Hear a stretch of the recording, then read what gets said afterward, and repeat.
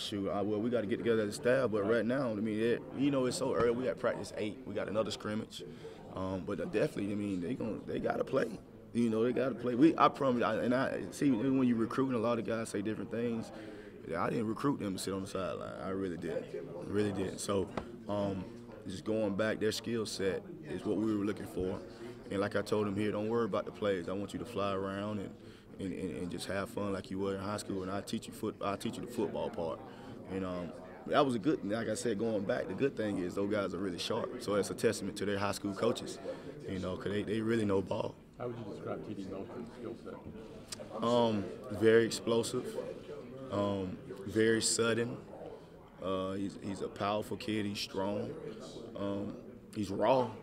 You know, he's raw. He's not. You know, he's not a finished product. Nowhere near being close to being a finished product. None of those freshmen are. Um, but he's he's that he's that lump of clay that I love to work with. You know, but all those guys, KJ the same way, and Chandler. You know, they we we got the right guys in the room. I can tell you that. Now is is is for us to continue to develop them, the fundamentals, and just teaching them. It's still a fundamental developmental sport. So um, they're not gonna just walk off the bus ready to play football. Not this is the SEC. So now now it's my job to coach them up and get them ready. And they they've been they've been awesome. They've been awesome, bright eyed, wanting to learn, wanting to hit, want to tackle. I, I like this. So I just gotta coach them up.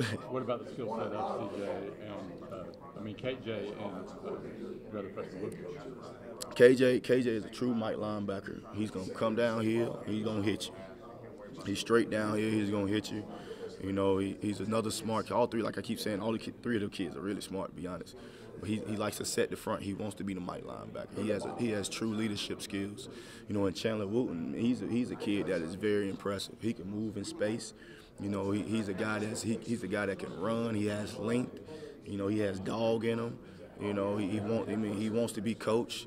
You know, I, I mean, I, I, love all three of those guys. You know, three. That, that's the thing about those guys. All, all three of those guys want to be coach hard. They have a lot of dog, and you watch them. All three of those guys are like best friends. They, they, they cling to each other. You know, they like three brothers. You know, so it's gonna be fun to watch those guys develop and, and see and just see what they can what we can get out of them and see how, how, how good they can get. Harold and I'm sorry.